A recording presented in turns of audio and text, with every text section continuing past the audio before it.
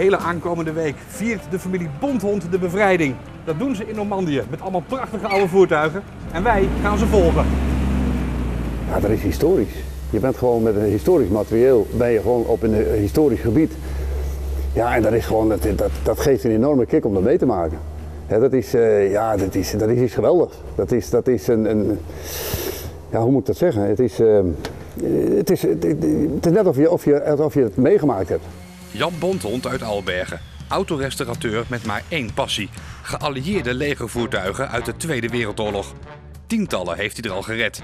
Met dit exemplaar gaat hij naar de 70ste herdenking van D-Day. De landing in Normandië, juni 1944.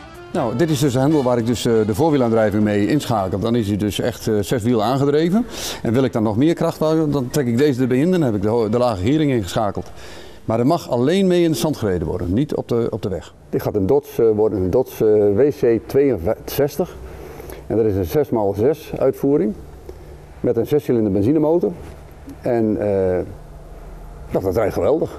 Dat rijdt gewoon hartstikke goed. Dan gaan we lekker in de Normandie mee rijden. We, jawel, want de hele familie Bonte gaat mee. Vrouwlief, kinderen en kleinkinderen. 20 in totaal. Ja, de jongste generatie vindt het ook al prachtig om daar mee te doen. Dus uh, die, zijn, die, die, groeien gewoon weer mee en die hopen, ik hoop dat die straks het stokje van, van opa en oma overnemen.